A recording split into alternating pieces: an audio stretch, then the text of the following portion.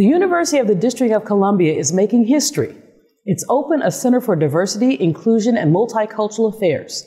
This is one of the first centers for diversity and inclusion at an HBCU, and its inaugural director, Trinice McNally, is my guest. Howard Ross is a lifetime social justice advocate, founder of the D&I consulting firm Cook Ross, author of a best-selling book on everyday bias, and a recent book, Our Search for Belonging, How the Need for Connection is Tearing Our Culture Apart. Thank both of you for joining me on Malveaux. I'm just so excited to have both of you here together. Great to be Thank with you you, as for having always. Trinice, what's different about this new center here at UDC? There are centers for diversity and inclusion um, all over the country, out on campuses and in other places. What makes yours unique? Uh, I think the fact that we're using social justice as a lens that we do our work to center the experiences of historically marginalized folks. Um, I think that there has often been a trend in D&I, right, especially at HBCUs in the last 20 years. But when you look back to the inception of HBCUs and why we were actually conceived, it has always been to serve the folks that have been underrepresented or marginalized.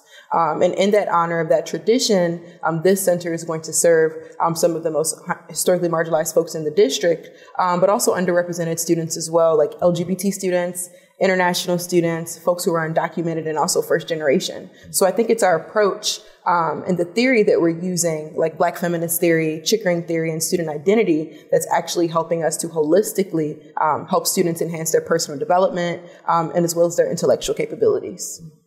What kind of challenges are these students? You call them marginalized students. Um, so let's go over again who you're considering marginalized. You're Right. talking international students, um, first generation, although most HBCU students are first generation. Um, what else? Remind me, um, undocumented, and Yes. that's a big one. Yes. What? So let's look at undocumented students in particular. What kind of challenges do they face that so- others don't? Undocumented folks, specifically in the District of Columbia, I wouldn't say are at an advantage, um, but UDC is one of the only HBCUs. Delaware State, I believe, was the first, and Johnson C. Smith to actually admit um, undocumented students. Uh, Mayor Bowser, I believe, in 2016, and the President Mason um, decided to allow uh, undocumented folks locally from, you know, the feeder pattern DC public high schools to attend UDC, and also create some type of scholarship program and like resources for them. Um, so when we're looking at the challenges that they're facing, um, folks don't have access and status to work in this country, right? So that can impact not only their economic status and their family situation, um, but like a driver's license, right? Like if you don't have documentation in the United States, you actually cannot even get a driver's license. You cannot work. You cannot get access to financial aid. Um, and those are the three main things, right, that help people have mobility and access um, to resources in this country. So if you're thinking about the complete profile of a student who might be first gen, who might be LGBTQ as well, and might be undocumented, right? We're looking at this very intersectional, right, type of like oppression that folks are experiencing in different ways. Um, so I think that lens of intersectionality, that framework that Kimberlé Crenshaw has offered us, um, is the lens that I'm utilizing. So folks don't have to walk in the room feeling like they have to be like one part of themselves, Right. right? Like folks, you don't just come in to a space right now as a you don't get to choose if you're going to be black or if you're going to be a woman, right? You just Dr. J, you come in here as both, right? And, Exactly. and other things. Um, so it's allowing folks to understand the multiplicity of like these systemic oppressions um, that are against them, but also gives them the power to mobilize to dismantle those systems as well. Howard, you have done diversity work all over this country uh, with clients as diverse as uh, at one point Major League Baseball. Um, you know, I, I, I, I You name it. yeah, I wouldn't mention any Fortune 500s because you've been with all of, and you've been all over the world. Put this center in the context of what you've seen um, out there. Well, I think it's I think it's so important. It's such an exciting opportunity, and particularly for an HBCU to be playing this role, because I think in a lot of cases, um, people believe that if you're in a non-dominant group environment, that we don't need to have diversity That's work. But we all know we all know that's Yeah. nonsense. We all know that you know. I mean, I like to say, you know, I'm Jewish, and I know folks who are Jewish who rail against anti-Semitism, but then make a questionable racial comment. And I know you know African Americans who will rail against racism, but then make a homophobic or heterosexual comment. So the fact that we're part of some marginalized group doesn't mean we can't still be Absolutely. acting in oppressive ways towards other people. And one of the things that really strikes me, um, Trinice, when you're talking about this, um, about giving the opportunity for undocumented immigrants to be here, is Mm-hmm. you know there's an enormous amount of research that shows that that when a student spends one day on a Mm-hmm. college campus, just one day on a college campus, the odds of them being incarcerated drop to like 20%. Wow. And so when you begin to get students, giving students One the day, opportunity, Howard? yeah, just just like even just appearing that that that that it has that kind of an impact. And and um, so when you give students an opportunity to participate, you know, when we think of people in this anti-immigrant crowd,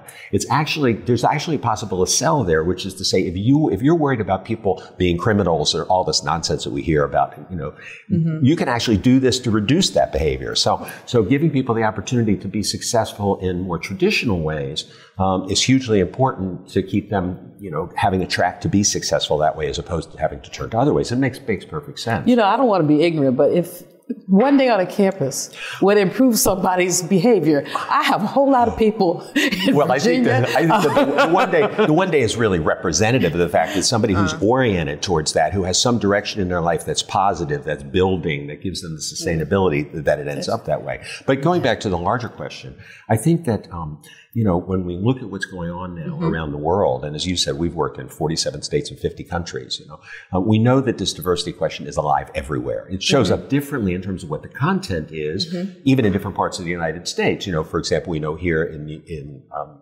DC, we've got a very mixed diversity uh, tableau in terms of race, but there's some parts in the country where it's mostly focused on issues that Latinos are facing, or you go into certain parts of this country and Native American populations show up in Minnesota, yeah. maybe one. And so it is, it does tend to be one tiered, but in DC, we've got such a rich tableau of diversity that it's particularly valuable, I think, to do that. And my own experience when I was professor of diversity at Bennett, when you were there, of course, is that um, those environments are such rich environments to explore these issues because of the fact that people are coming together around you know around their identity to, to a certain degree. And so we can get into subtleties that we can in a lot of other places. You know we go to a more mainstream college or university for example uh, the, the black community will tend to often coalesce around itself rather than look at some of the sub issues within that community because in order to survive in a predominantly white institution that's what's needed but when you get into an hbcu environment we can look at things like intersectionality in a much deeper way and so i think You it's did a very such a great exciting job. opportunity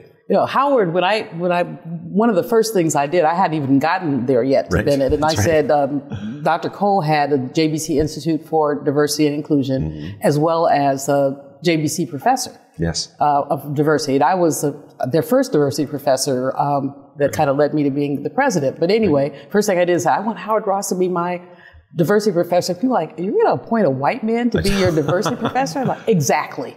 I mean, exactly. Who, who else to bring to our space? The second thing we did, which I think you knew about, was to have Vanessa Weaver and Alignment Strategies do a campus-wide diversity day, Yes. where we suspended classes and really just did because at an HBCU you have all kinds of diversity. I mean, not only in terms of faculty, so HBCUs are not all black. First of all, just by definition, you have white faculty and staff. You have other people of color. You have the GBLTQ issue, which I think I want to talk about in a minute. So our community sometimes has a challenge grappling with. Yeah. Um, we had a white woman stand up and said she felt marginalized because she had this accent, which she did. Mm-hmm. And she said she thought that when people looked at her, they thought she was dumb, which she wasn't. But she did have one of those Okie from the Skokie Mm-hmm. Right. accents that just made you kind of roll your eyes and think, you know, hillbilly. Yeah. Um, and she got up and spoke to that and said, you know, people didn't treat her as well. Yeah. But one of the issues that we do seem to have a challenge grappling with, both in the African American community and in the HBCU, I call it HBCU land, it's a special place. Um, in HBCU land is the GBLTQ issue. Um, you were a student at Florent. Bethune Cookman University. Bethune Cookman, and you had some challenges yourself as, Yeah. as an out gay woman. Talk a bit about that and wh- what's going on. Uh, Why does the black community have such a challenge grapple with? And Howard, I want you to talk a bit about it as well. Our dear and recently departed friend, uh, Robbie Gregg, used to often talk about homophobia That's right. in the African American community. So, Trinice, you start. Sure. So when I was a student at Bethune Cookman University in undergrad, um, we had a very uh, large increase, I think, in suicide ideation of LGBTQ folks. Um, you know, I was in the band in undergrad, um, and anything music, arts um, related is usually where LGBTQ folks Right. are historically, um, going all the way back to the Harlem Renaissance, and I'm sure before that, especially for Black folks.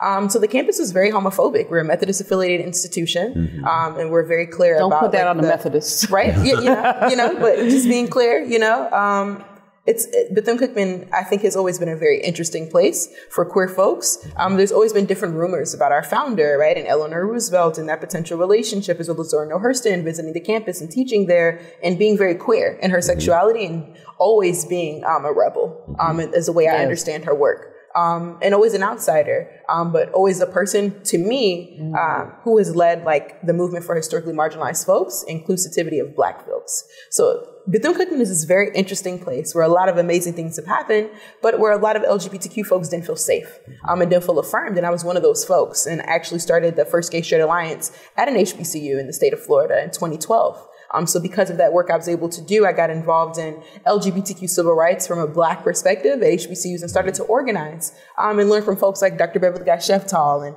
Afrikidi and Cascade at Howard University and started to do a lot of research. Um, so through that work, I think I was able to see HBCUs um, from a larger landscape. And then I started to understand that this may not just be an LGBT issue of homophobia. Um, all of these things have kind of been embedded, you know, due to the transatlantic slave trade and white supremacy, specifically in the United States. Um, some folks seem to think that uh, queerness is new that like gay like people that are gay just have shown up right, exactly. on the planet like a hundred years ago. Yeah, yeah it's like oh my god, and they're here and they're gay what and they're making everyone gay. And it's like no, queer folks have existed since the beginning of time. You can go back um, to the continent of Africa and the kingdom of Dahomey and learn about the different king queens and the masculine of center like women who were not only running kingdoms but rebelling against colonization and white supremacy um, in very very like significant ways. And I think the way that white supremacy and Christianity particularly has created this like dysfunction um, and frankly like this disgusting phenomenon that people who are queer um, are somehow inherently deviant mm-hmm. in the same ways that they have done to black folks, right? To brown folks, to black women, and to other marginalized groups. So I think that HBCUs are going to have to get honest, number one, and grapple with their own homophobia and their own sexuality, um, because sexuality is a very taboo thing for black folks. And I don't, I don't think it's about a fault thing. I think it's because of the way that slavery has shaped our experience in this country and the ways that our bodies were violated right? Yes. We didn't have autonomy over our bodies. So when you think about sexuality and the ways that we no, that's really good didn't have the opportunities to say, yes, I would like to have sex with you, Howard. Mm-hmm. No, that's not how the roles went, right? right. A person well, has control. Now. You know, not right now. no, just we all know. But right, like consent, conversations right. around consent. Yeah, absolutely. We're not in existence then. So I think that these that's issues a, are, you know, taboo. We can't talk about sex which, and we couldn't talk about sex as black women because yeah. we had been so sexualized. Absolutely. I mean, you know, if you look at inherently deviant, you know, the fact that, as you say, we had no body agency, and you could not violate a black woman historically. Mm-hmm. I mean, you, you read the, the, story of Recy Taylor. Yes. yes. Is a story, I mean, there's so many others, but Oprah lifted that one up, and it's a good one to lift up. Mm-hmm. The fact that, um, six men violated her. And then they said, well, she wanted, she was a young mother, 23 years old, walking with her child, walking home with an elder and her child. Right. And they just snatched her up because they decided they wanted to have sex with a black woman. Mm-hmm. But then when after the fact, oh, but she wanted to go with us. And the mythology around black women's wantonness was such that yeah. that was believable. Yeah. Of course, again, because it served the purposes of white supremacy. Howard? Well, I think, I think, you know, you're speaking to something that's really important, which is that, you know, we carry these mental models with us mm-hmm. that give us the way we see the world. Mm-hmm. You know, this is, as you know, it's a lot of the work that we've done. And um, you know, you look at the situation with Recy Taylor, and it's a great example of that. You know, if if you've got a mental model that's infused into our societal structure, and, and by the way, it doesn't only get infused in by the oppressive group that does it because it also gets internalized, as we know. Yes. You know, we go back to the Brown versus Board of Education and, and, the Clark studies and all of these things, and we know this happens. And so when you begin to internalize that conversation as well as externalize that conversation, then when people see a crime happen, like Recy Taylor, if you got in your mind, well, black women are wanton, as you say, and you see this crime, then all of a sudden it's conceivable something that would be inconceivable in other circumstance that a woman would want to be raped violently by six people, mm-hmm. you know, which is absurd, of course, mm-hmm. but somehow it becomes conceivable. And we could put it into more modern day. You look at what happened in Ferguson, just as an example, and you've got Michael Brown's story and Darren Wilson's story. And for, for a white person growing up in this culture, what were we told about the police? If you're ever in trouble, find a police officer. Mm-hmm. Y'all were probably told if you're ever in trouble, it's because of a police officer. Absolutely. So then Absolutely. Michael Brown gets shot and, and black folks say, here we go again, white mm-hmm. folks say, well, why would a police officer do that? Because we're trained to believe that peace officers are, are, are, noble. And of course, most are.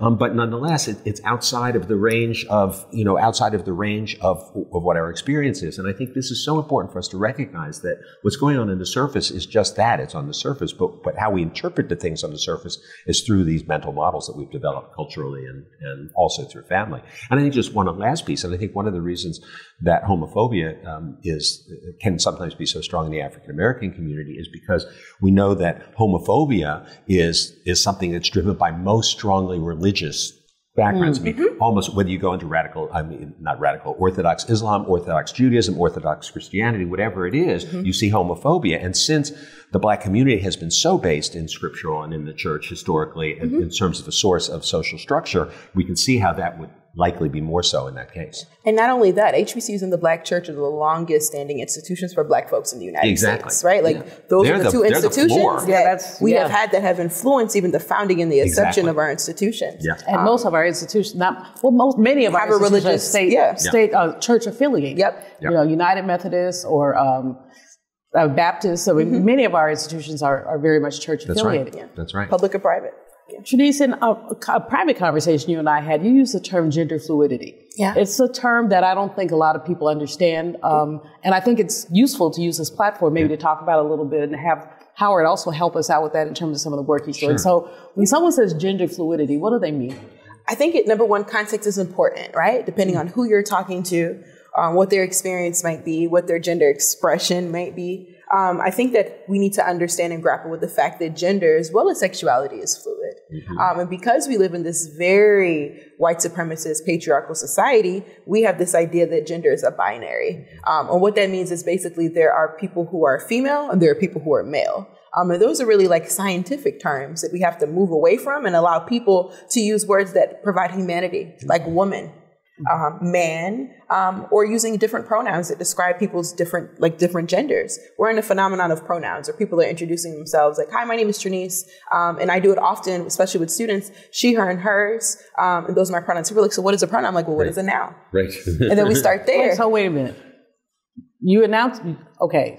So in an so I'm saying I'm she, she, yeah. her, and hers. Yes. Isn't it obvious? No, it's not, and that's the that's the right. issue with gender um, some folks don't have the ability or the autonomy um, to pass as whatever particular gender that folks might see them as. Some people don't want to. Um, and I believe that people shouldn't have to.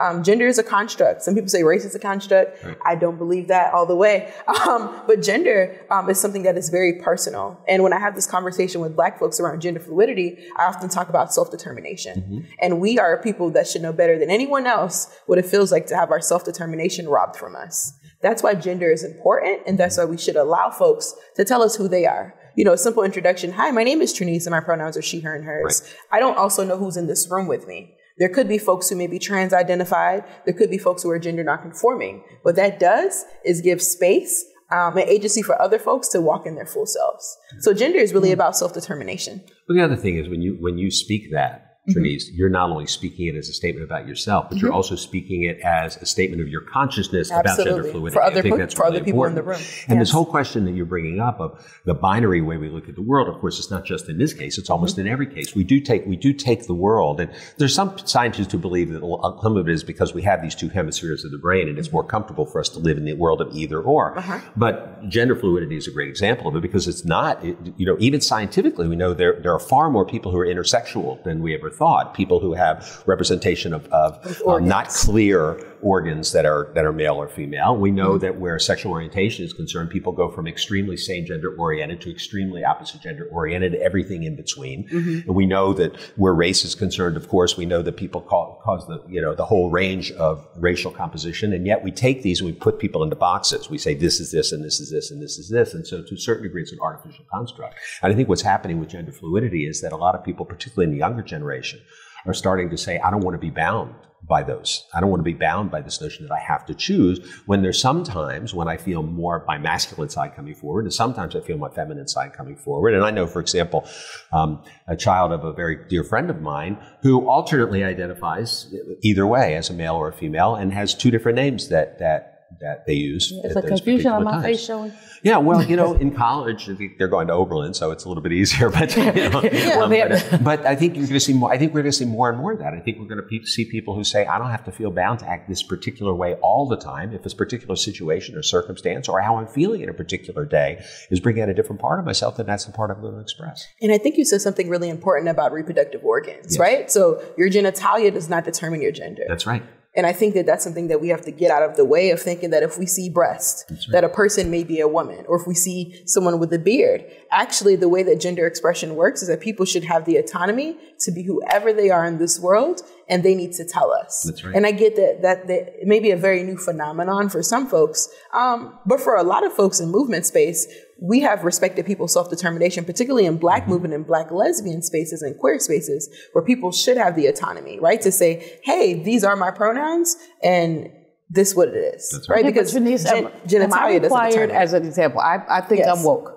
Now I'm real woke. Um, and I think I'm very conscious, very progressive, etc. Um, in in order to be the person I think I am, am I supposed to walk up and say, "Hi, my name is Julianne, and these are my pronouns"? I think it depends on the context we are at. If you're in an educational space, I know that the responsibility I have as an organizer, number one, and as a Black feminist, that I have to do that to create space for folks um, who are not cisgender, who do not have access, um, and try to create a familiar space for them where they can feel affirmed.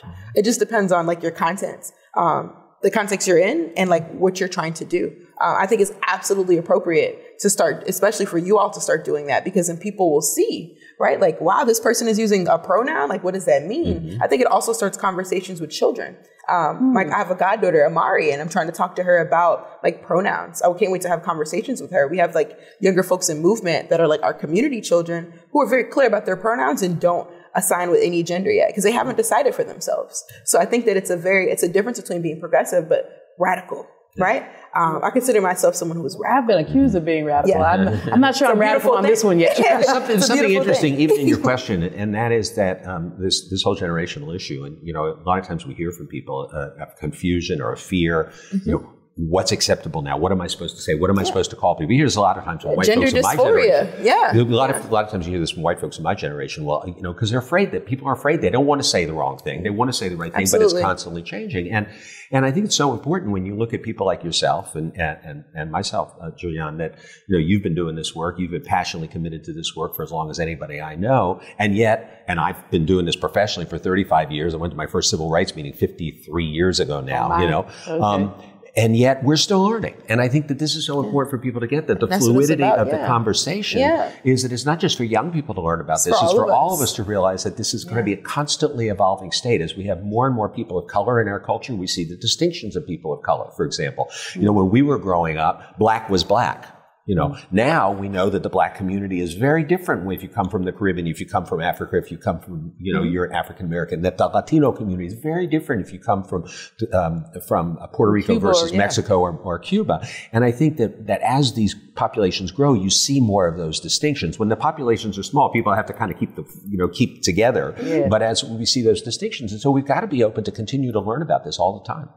We're running out of time, and I, so I want to get back to the center. Yes. Oh, sure. Uh, tell me, because we're having a great right, conversation, exactly. and I'm learning, but we, we want to get back to the center sure. because we want people here in the district and actually around the country, because yes. you can see Malveaux anywhere mm-hmm. on YouTube. Um, but anyway, well, we want people to know what the center is offering. Yes. Um, what um, you know, open mm-hmm. or openings, you know, but what kind of programming is there going to be? Will you have replications of this conversation or yes. conversations like this on campus? Will you have classes? You mentioned something about the history on the African continent of the gender yeah, fluidity with the kings. That yeah. would be a really wonderful class to have to just look at the history of queerness. Mm-hmm. Uh, so tell me what, what what kind of programs can we look forward sure. to? Sure. So um, I wanted to make it clear also that we've been doing it for the last year. What the mm-hmm. grand opening is about is the opening of the physical space, mm-hmm. okay. um, which is going to serve as like a resource and a hub um, for folks to feel safe and affirmed. Whether that's like resources picking up a specific set of books, we have like a diverse array of different types of like literature that folks can pick up.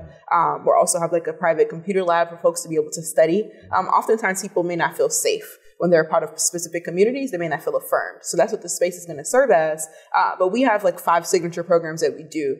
Um, I think the most important one is the Social Justice Lyceum series, where we bring in different researchers or authors or poets or scholars to come in and have different conversations with students. Mm-hmm. Uh, we actually featured uh, Dr. Steve Mobley, Howard alum who works at U of A, yeah. um, and also Dr. Elsie Wilson to talk about Zora Neale Hurston's life and legacy, um, but also Barracoon and that last piece of literature. Yes. Um, so we also host a study abroad program. I'm actually launching the first inaugural program. We're going to Accra in Ghana for the year of return. Yes. Um, so I'm taking 13 students and we'll be studying um, politics and culture um, from a very revolutionary lens post uh, Kwame Nkrumah's um, liberation there. Um, we also do lunch and learn series. Um, of course, you know, the DC is facing a lot of food scarcity. And of course, if our students are coming to our institution, we can expect that they have those needs as well. So what we do is provide like a feasible, um, healthy lunch option, um, usually featuring a particular country or region. And we host different conversations about concepts around oppression, um, marginalized identity. Um, right now, we've been talking a lot about police brutality and gentrification. Uh, I'm a prison abolitionist, so I've been introducing students to different alternatives of like community policing and transformative leadership and transformative justice. Um, what are alternatives other than the police? Um, we also host uh, a series where we do LGBTQ work through the student organization um, that's called okay. the Alliance Group. And then there's an undocumented group of students that are creating this Latinx coalition um, to mobilize Latinx youth in the city. So we're doing an array of programs. I forgot to also mention the International Student Chat and Choose, which are awareness events to kind of highlight and empower specific students from different regions. Right now we have about 482 international students from over 80 countries at UDC. So about 12% of our population are international folks with status. Um, we're trying to work to do some data collection around like who are other students who are undocumented, but also come from other countries. We're also trying to do more research around LGBTQ folks and get that question on that application, right? So, do you identify as LGBTQ? Because Does everybody want to answer the question. Um, it, people have the ability to or to not, but it's important for data. And usually, people who are LGBTQ will want to answer that question because there's so many other ways that they are silenced um, mm, or not okay. visible. Right. And it's about data and research to you know, bring in more funding and more infrastructure. Yeah, so. it's, a, it's, a, great question, though, because I think in, in, in, research, this has been one of the real challenges we've yes. had has been the danger of people self identifying. Mm-hmm. Um, and even when we do studies in, in corporations, for example, when we do assessments, in a lot of cases, it's hard to figure out exactly how many people, people yeah. there are and what their experience is because. Yeah because people are afraid that by identifying, I'm going to be subjected to all the discrimination yourself. and yeah. bigotry that that brings up. Now, fortunately, that's coming, that's changing yeah. very rapidly in our society. I did a survey once yes. for folks, and uh, it was about foster, foster, status, and the young people were saying we don't want to be stigmatized as being foster. Mm. That's right. I wanted to do the study because I wanted to know what kind of services right. could be provided, provide. yeah. and um, it was a it was a real tension. Yeah. And you know, I don't think we ever really quite resolved it. Um, but so that's that's the reason that I asked the question. Yeah. I don't well, think, I think this, this is a pattern. and we're struggling with that as well. Yeah, this yeah. is a pattern that we've dealt with in a lot of circumstances. For example, in healthcare, you know, for years, um, it, it, the, the thought was that it's best practice in healthcare to not ask the cultural racial identity of people because it's usually mm. used to mm. discriminate. Now yes. we know that having that information can help in providing culturally competent healthcare, yes. but a lot of people are still hesitant to ask for it because they're afraid of those past values. So right. we've, got, we've got to be constantly evolving around this stuff. Yes. We have absolutely run out of time. I know. We can do, this is a conversation that could and will continue. Yeah. Howard, absolutely. you'll come back. Absolutely. We didn't get to talk about your book Belonging. Yeah. We will stay connected, Sora. Absolutely. As you know, uh, Thank you so much for being with me. Oh, Thank oh, you it's a real me. pleasure.